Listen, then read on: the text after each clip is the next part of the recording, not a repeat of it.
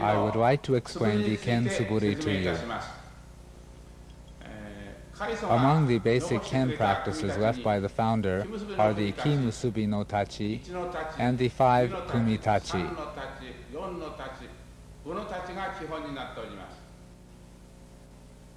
Since the Kumi Tachi are quite complicated, you must learn the basic seven Suburi in order to avoid becoming confused and to be able to safely practice the kumitachi. I formulated seven suburi practices by selecting movements from these seven kumitachi.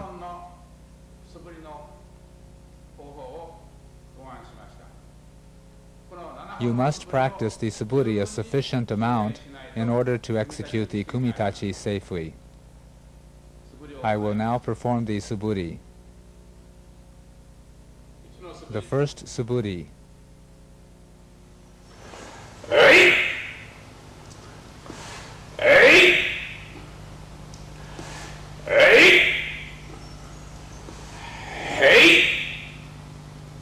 Let me explain the first suburi. All of the Aiki Kumitachi start with the sword held at the center level in a horizontal position in order to execute a decisive movement. The first suburi represents an important exercise for learning the decisive movement in sword practices. Thus we stop the sword in the decisive position in the first suburi.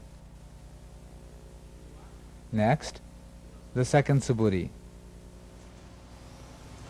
Hey! Hey! Hey! The hips are engaged fully to finish in the hanmi position in the second suburi in such a way so as to avoid an ai uchi or mutual kill situation with the sword. This is a characteristic of Aikido. If our hips were left in a straightforward position, this would result in a mutual kill situation with the sword. This distinction can be seen in photographs of the founder using the sword. I will now show the third suburi.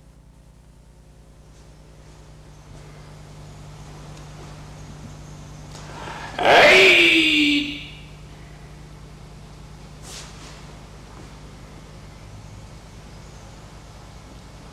Hey!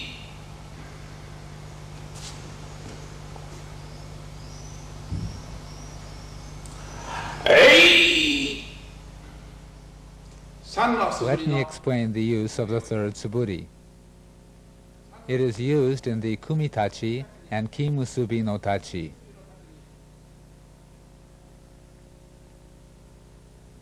At this point, the founder explained that we should perform this movement with a feeling of assimilating ourselves into the universe by inhaling universal ki through the tip of the sword, passing through the nose, and arriving at the Seika Tanden.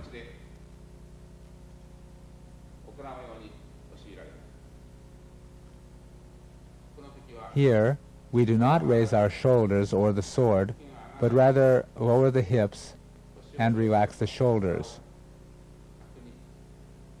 We exhale forcefully, striking directly over the head.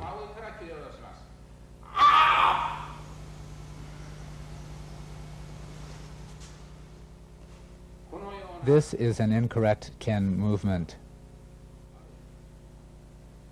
Come straight over the head and, taking a large step forward, cut downward.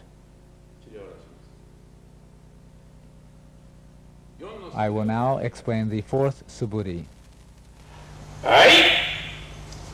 Hey!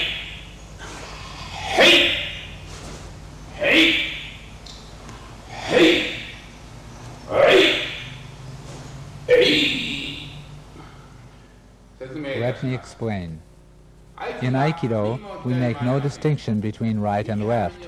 Whether we are in the right or left hanmi, we practice using the sword so that it and the body function as a single unit.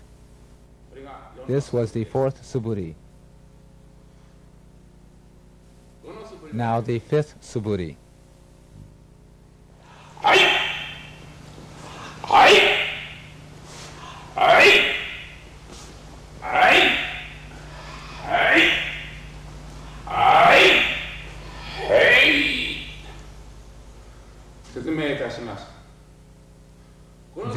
Suburi is the movement most often used in the kumitachi.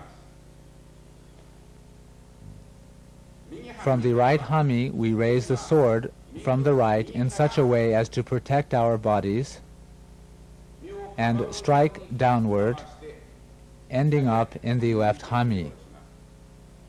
From the left hanmi, we move the sword to the left, protecting our body, and then step forward with the right foot to strike, finishing in the right hanmi. We move our bodies fully to the right and left in the kumitachi.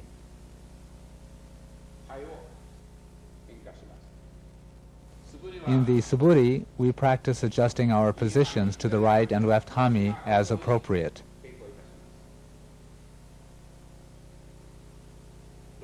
I'll now explain the sixth suburi. Eight.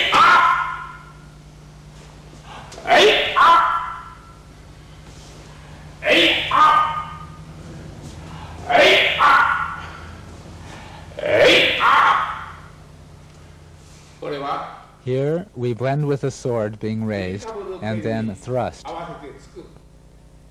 It is one of the movements included in the Kimusubi no Tachi exercise.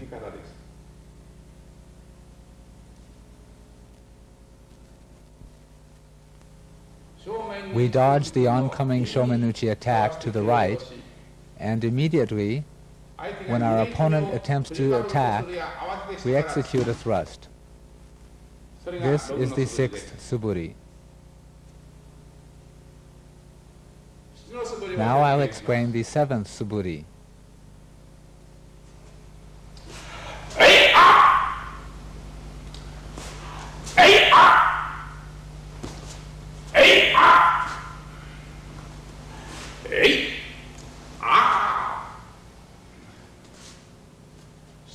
The seventh suburi is used in the second and fourth kumitachi. In this movement, our strike is parried downward, and we free the sword circularly and then counter with a thrust.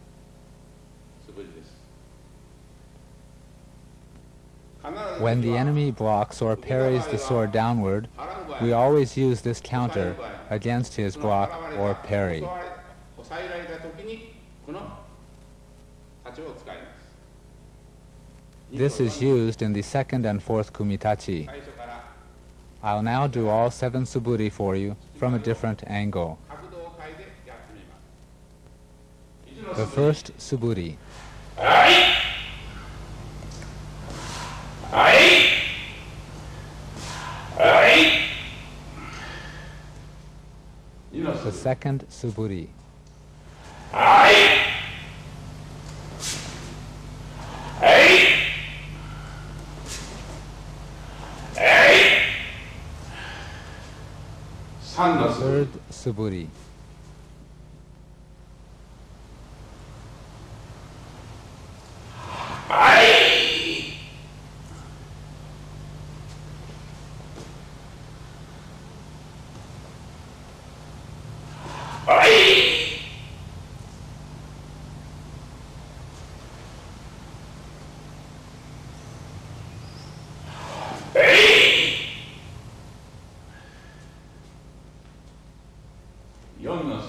fourth suburi.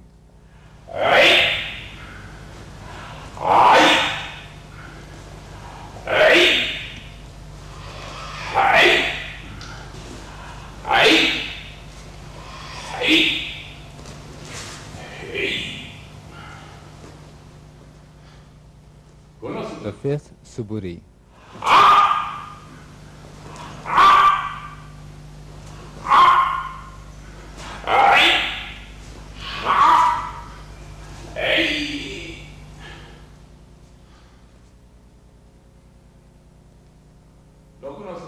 Sixth suburi.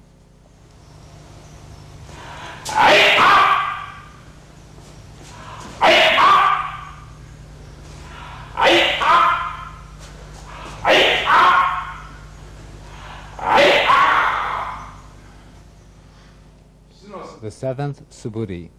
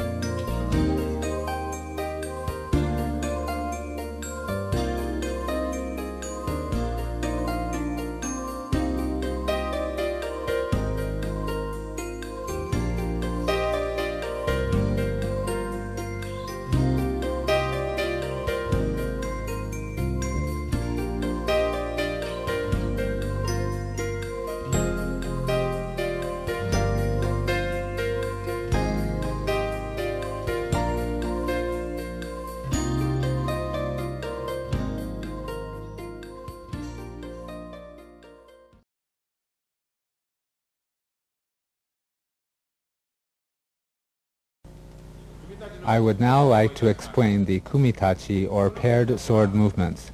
These kumitachi were taught to us by the founder in exactly this way. We do not precisely know the origin of these movements. Whatever the case, when Morihei Ueshiba would execute a movement, it would be expressed in a highly personalized manner.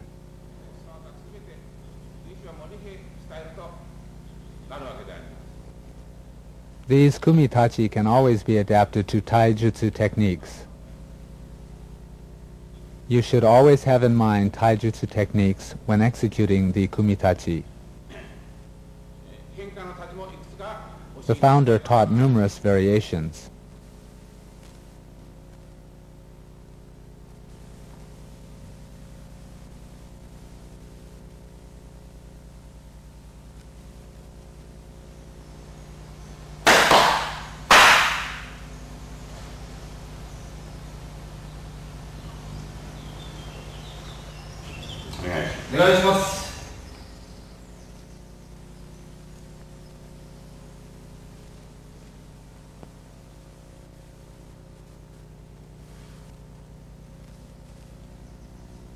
Ki Musubi no Tachi.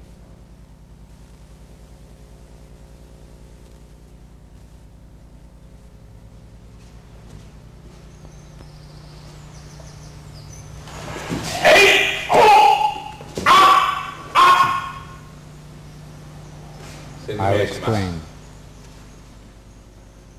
All Aikido techniques begin with blending movements. Taijutsu, the Ken, and Jo techniques all begin with blending movements. This type of movement represents the essence of Aikido.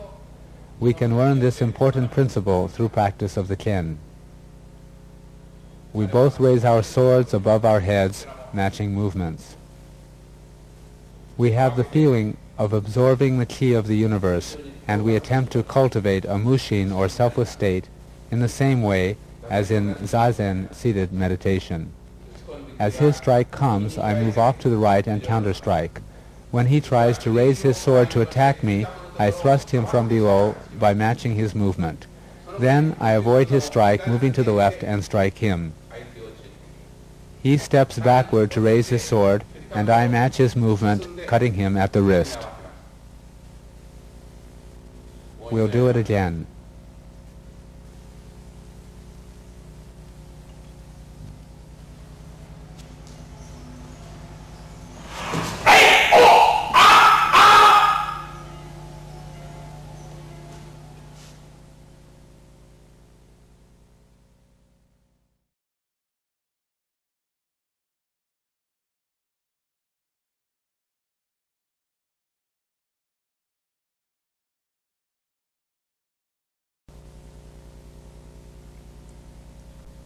We'll now execute the first kumitachi.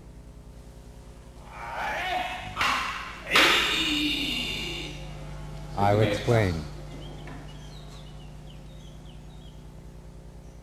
As I raise my sword intending to strike, he blends with me and thrusts at my chest. I step back, dodging his sword to protect my body and cut downward. He steps forward with his left leg to strike me. I step backward and parry him from the left hanmi. He comes to attack me in the right hanmi. Stepping back from the left hanmi to the right hanmi, I strike downward to the parallel position, parrying him, and then thrust.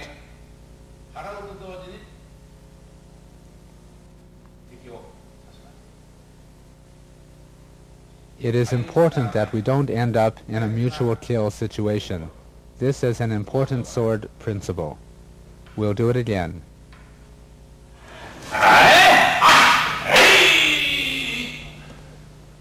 In the middle of the movement, we'll change to a sword-taking taijutsu variation. Before that, I will match his movement, attacking his wrist.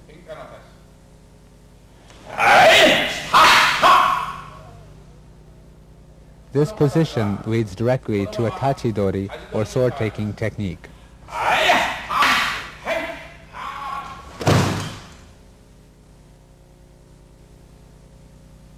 There is also a variation at the initial stage. This leads directly to a sword-taking technique. The second kumitachi.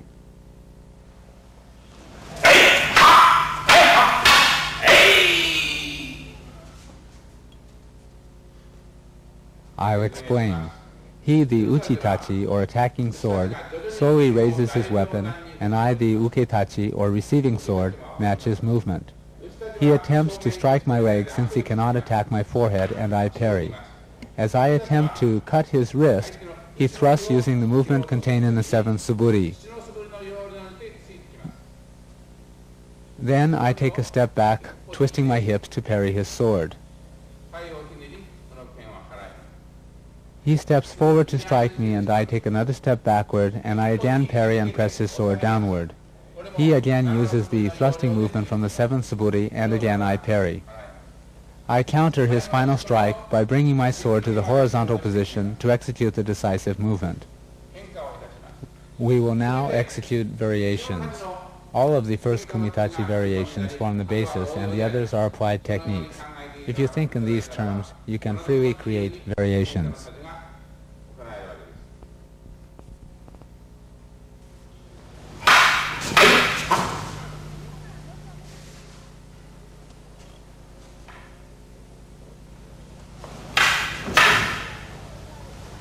In this particular parry, the decisive movement is executed with a hip turn.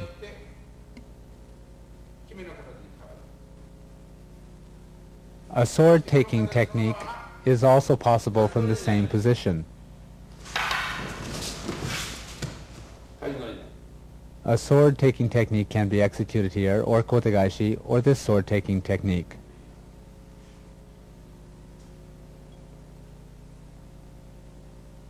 This is Aikido.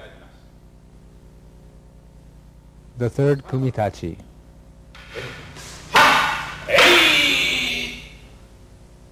I'll explain. We parry our partner's sword and counter-strike. Or I check his intention and direct his mind downward. For example, when he strikes the kumitachi changes in the manner of the fifth suburi.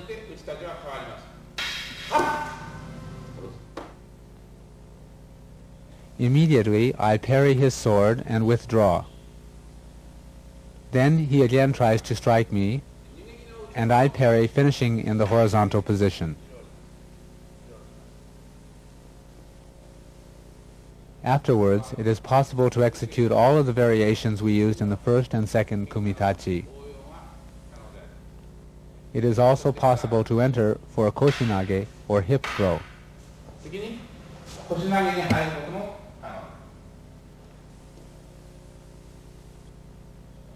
We'll execute the third kumitachi again.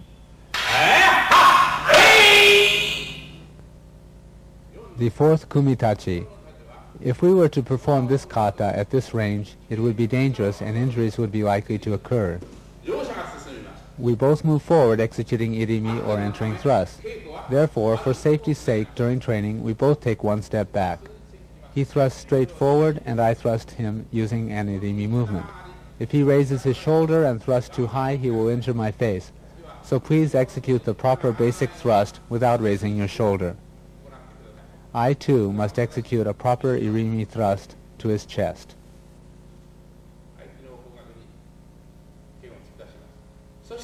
Next, I deflect his sword downward. He then enters to thrust as in the seventh suburi, and I parry like this. We control his next attack in the same manner as in the first suburi. We'll do it again.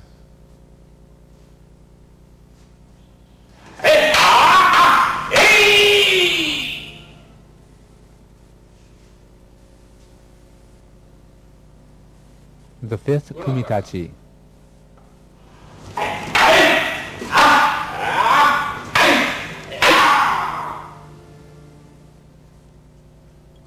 I'll explain.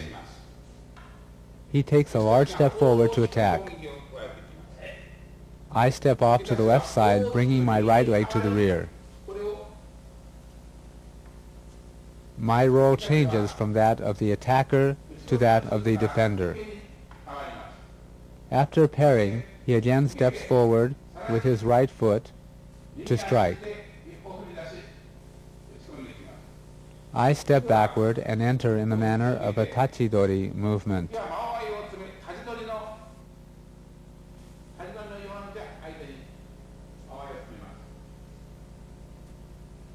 Basically speaking, in Aikido, we never lock swords. If he pushes with his sword, we turn in this manner. Therefore, as soon as I approach him, he turns to the left entering and attacks my leg.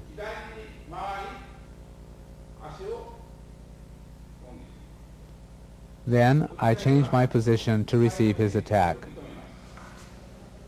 Next, he comes to strike my forehead. At that moment, I match his sword and deflect it downward.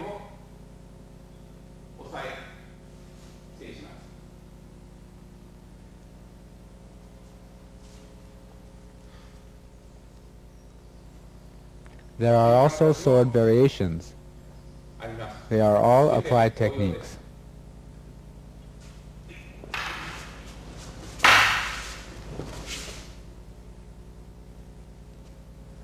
Another variation.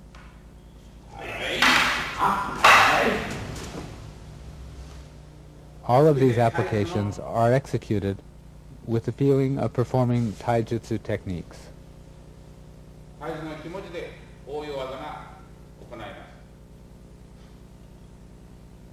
I'll do it again.